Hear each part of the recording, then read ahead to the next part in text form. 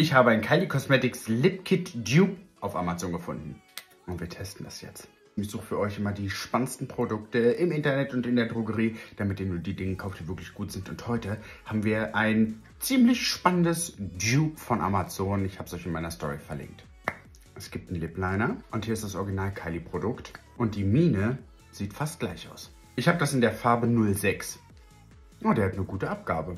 Das ist eine sehr schöne Farbe. Das andere Produkt ist deutlich kleiner als das Original. Aber auf der Verpackung steht Lip Gloss. Schauen wir mal, wie es aussieht. Füßchen ist recht klein. Riecht nach Wassermelone. Oh, die Farbe ist grandios. Ja, es wird schon ein bisschen trockener.